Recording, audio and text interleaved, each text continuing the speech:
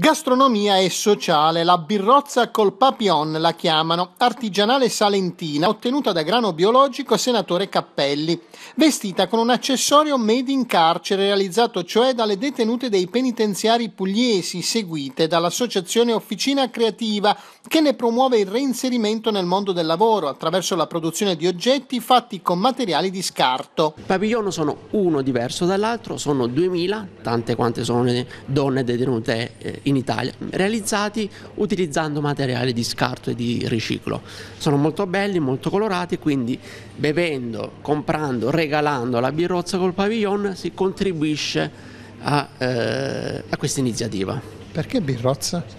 Birrozza è un nome simpatico, frizzante, giovanile, ci facciamo una birrozza. Ingredienti? La caratteristica della birrozza è la presenza di grano cappelli biologico salentino coltivato nel Salento. Ecco una vecchia varietà di grano coltivato in Puglia, nel sud Italia in generale, che viene valorizzato e eh, utilizzato come materia prima nella birrozza. Al vecchio gazebo di Molfetta il binomio è con la pizza, ma non solo. È un binomio che va alla grande, eh, ma soprattutto eh, ora cerchiamo di andare oltre al discorso pizza e quindi abbinarlo anche a degli antipasti e perché no anche con un dolce.